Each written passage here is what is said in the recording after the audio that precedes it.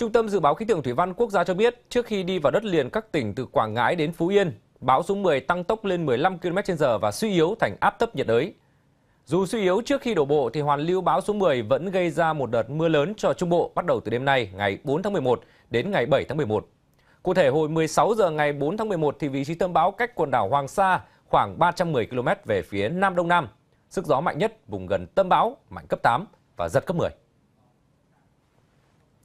Dự báo trong 24 giờ tới, bão di chuyển theo hướng Tây Tây Nam, mỗi giờ đi được khoảng 10 km. Đến 16 giờ ngày 5 tháng 11, vị trí tâm bão trên vùng biển từ Quảng Ngãi đến Khánh Hòa. Sức gió mạnh nhất vùng gần tâm bão mạnh cấp 8, giật cấp 10.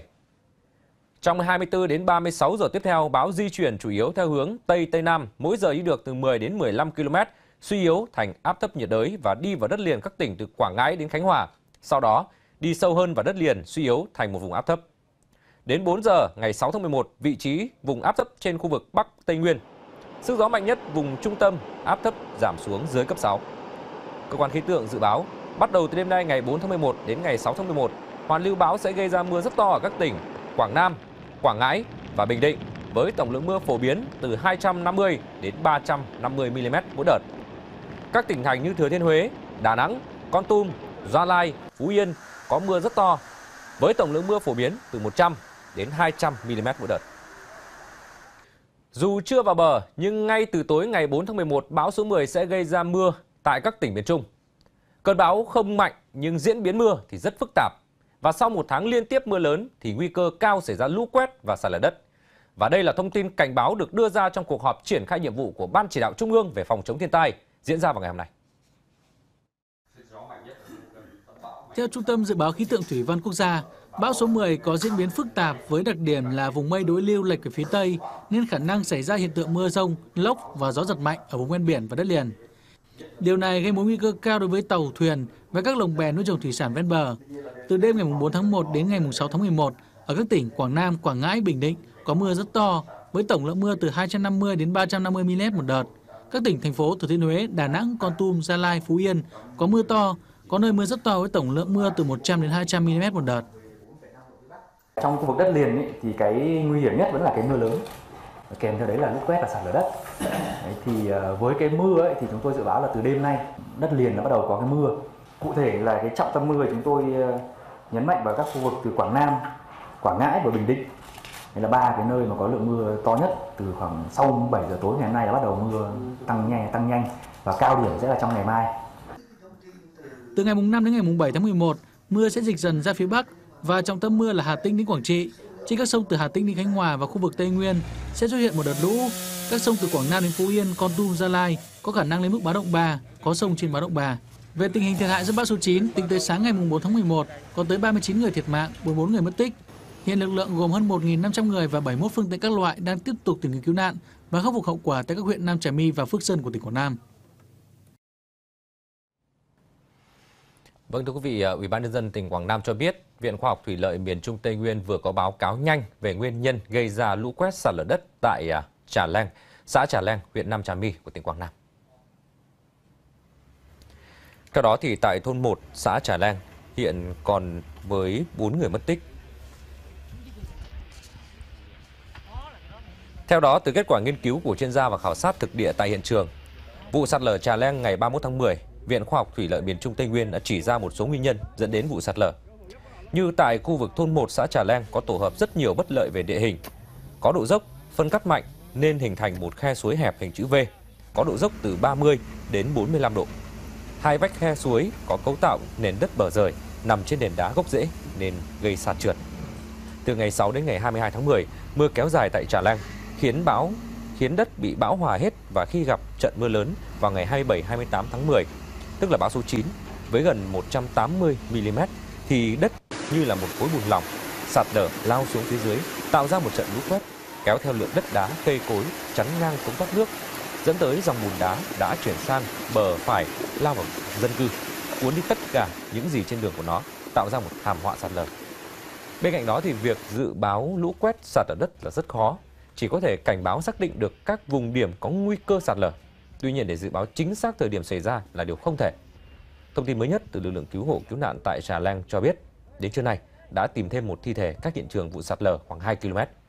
Như vậy đến nay đã tìm thấy 9 thi thể, 13 người khác hiện còn đang mất tích.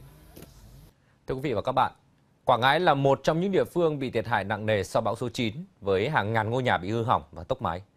Thời điểm này, người dân đang vô cùng bất an khi cơn bão số 10 đang tiến vào và có thể ảnh hưởng đến đất liền. Sự dữ dội của thiên tai khiến cho những người miền Trung vốn can trưởng mạnh mẽ cũng không thể đứng vững. Ghi nhận của nhóm phóng viên VTC14 đang tác nghiệp tại đây. Hàng trăm ngôi nhà của người dân thôn Phước Thiện, xã Bình Hải đã bị đánh sập và đổ nát như thế này sau cơn bão số 9. Thời điểm này khi mà những thiệt hại do thiên tai chưa khắc phục xong thì người dân nơi đây lại đang tiếp tục gồng mình để ứng phó với cơn bão số 10. Những bờ kè tạm bợ bằng tre nứa như thế này dường như càng trở nên mong manh trước thiên tai bão lũ và khó có thể là trụ vững nếu mà cơn bão số 10 cũng như là mưa lũ dồn dập trong thời gian tới.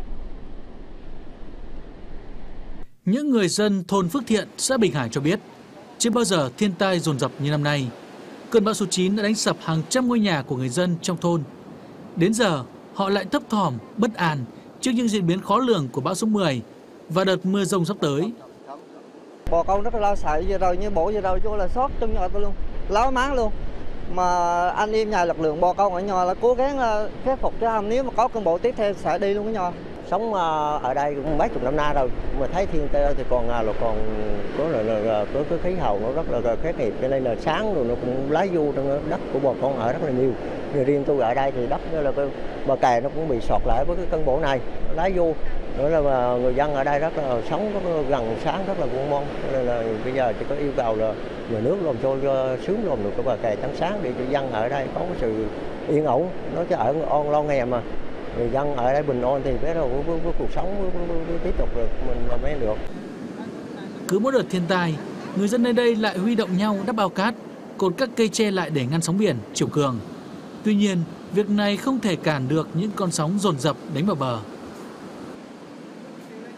Hồi uh, 2009 cơn bão số 9 thì một sập của nhà giới đâu nhà, nhà giới.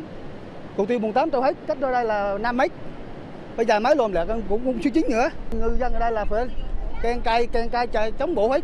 Lâu đi núp không, không biết mà nhiều hết. Thứ nghị cơ quan chức năng là phải cho dân cố dân biển này làm cái bà kè thôi. Ở đây chống ở tôi còn không có mang thứ gì nhờ sạch bây giờ không có ở thì con dâu rồi nó đi trên với bò con rồi sắp phải cao mà chưa chắc là đủ luôn kiếm cao một số tiền. Chữa lại cái đò. Bữa bật mới cao bò bờ bật cáo bà em ăn cái này bán ra không có tiền ăn Theo thống kê, cơn bão số 9 đã khiến cho nhiều xã của huyện Bình Sơn bị thiệt hại nặng. Trong đó, nghiêm trọng nhất là tại xã Bình Hải, với hơn 2.296 nhà bị tốc mái, hư hỏng. Toàn huyện có 30 xã bị tốc mái hoàn toàn, ba ngôi nhà bị đổ sập hoàn toàn. Thời điểm này, điều mà lãnh đạo xã Bình Hải lo lắng nhất là mưa lớn sau bão số 10 có thể tiếp tục đánh sập nhiều ngôi nhà của người dân nơi đây. À, sau cơn bão số 9 và đồng thời nữa tiếp đón cơn bão số 10 thì phải nói rằng đời sống kinh tế của nhân dân là phải nói là hết sức khó khăn.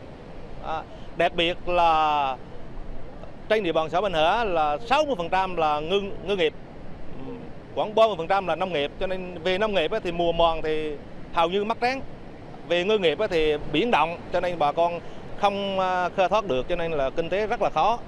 Cái thứ hai nữa là riêng về cái triều cường à, trang thời điểm này là còn à, là còn xâm thực vào đất liền cho nên là ảnh hưởng đến vấn đề sạt lở và nơi an chống ở của nhân dân à, đây là vấn đề là hết sức là quan trọng cho nên đối với địa phương thì cũng à, mang rằng là à, trung ương và tỉnh phải có biện pháp như thế nào để mà mà phòng chống cái vấn đề là xâm thực vào đất liền đối với những thôn ven biển của xã Bình Hở.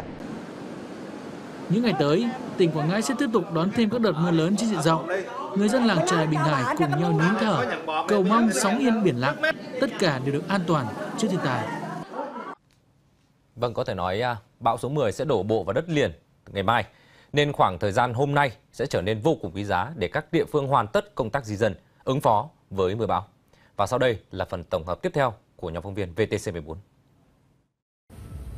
Trước diễn biến phức tạp của cơn bão số 10 có khả năng ảnh hưởng tới tỉnh Phú Yên, Ủy ban nhân dân tỉnh vừa có công điện chỉ đạo tập trung triển khai ứng phó khẩn cấp với cơn bão. Chủ tịch Ủy ban nhân dân tỉnh yêu cầu phải hoàn thành công tác di rời sơ tán dân trước 18 giờ ngày 4 tháng 11.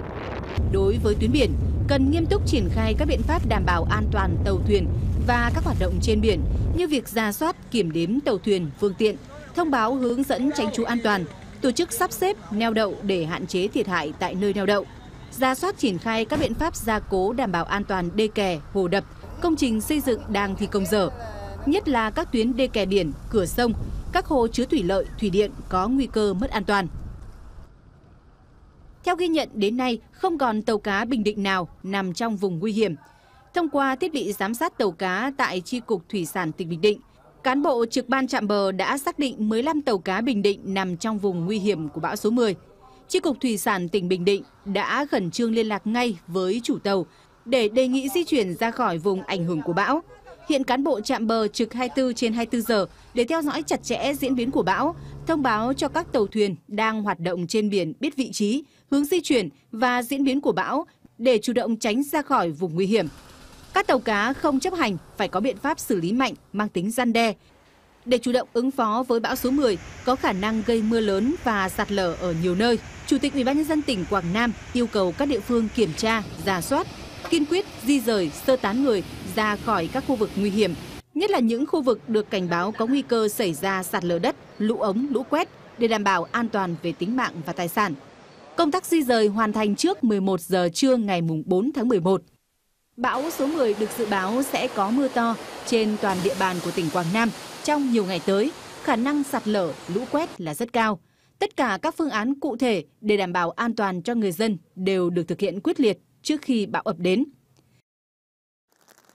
Thành phố Đà Nẵng yêu cầu thủ trưởng các sở ban ngành, ủy ban nhân dân các quận huyện triển khai có hiệu quả các phương án phòng chống thiên tai, tìm kiếm cứu nạn và khắc phục hậu quả. Tiếp tục theo dõi chặt chẽ diễn biến của cơn bão số 10 và mưa lũ, thông tin đến người dân để chủ động ứng phó, sẵn sàng triển khai các phương án sơ tán dân đến nơi an toàn, chuẩn bị lực lượng, phương tiện, trang thiết bị cứu hộ, cứu nạn. Đề nghị các đơn vị liên quan đảm bảo an toàn hồ chứa nước, an toàn tại các công trình xây dựng, công trình thu phát sóng, cây xanh, điện lưới. Tùy vào diễn biến của thời tiết trong những ngày tới, ngành giáo dục sẽ quyết định cho học sinh, sinh viên nghỉ học để đảm bảo an toàn. Vâng và cũng liên quan đến công tác tìm kiếm nạn nhân mất tích tại Quảng Nam. Tại địa bàn các huyện Nam Trà My và Phước Sơn, trời đã có mưa trở lại và đất đá tiếp tục sạt lở, nên lực lượng cứu hộ tạm dừng tìm kiếm chờ qua cơn bão số 10. Hiện tỉnh Quảng Nam vẫn còn 20 người mất tích do sạt lở đất, vùi lấp trong bão số 9. Theo đó, tại thôn 1 xã Trà Lang hiện còn 14 người mất tích. Khu vực lòng sông Chanh hiện lượng củi khô, gỗ mục, rác và nhiều vật dụng của người dân bị lũ cuốn trôi dồn về, kín đặc mặt nước. Cano và thuyền máy rất khó để di chuyển tìm kiếm vì vướng chân vịt và bánh lái. Lực lượng cứu hộ đã phải dùng trèo, gậy, lật từng khúc gỗ mở đường tìm kiếm. Và chiều ngày hôm nay, lực lượng cứu hộ tại đây đã tạm dừng tìm kiếm để ứng phó với bão số 10. Trong khi đó, tại xã Phước Lộc, huyện Phước Sơn, hiện vẫn còn 4 người mất tích. Thượng tá Nguyễn Trung Kiên, chỉ huy trưởng Ban chỉ huy quân sự huyện Phước Sơn cho biết, hiện nay trời đã có mưa to, đất tiếp tục sạt lở, đường vào hiện trường bị tắc nên các lực lượng tìm kiếm ùi cõng lương thực, thực phẩm, nhu yếu phẩm và tiếp tế hai xã cô lập là Phước Lộc và Phước Thành tạm dừng để đảm bảo an toàn.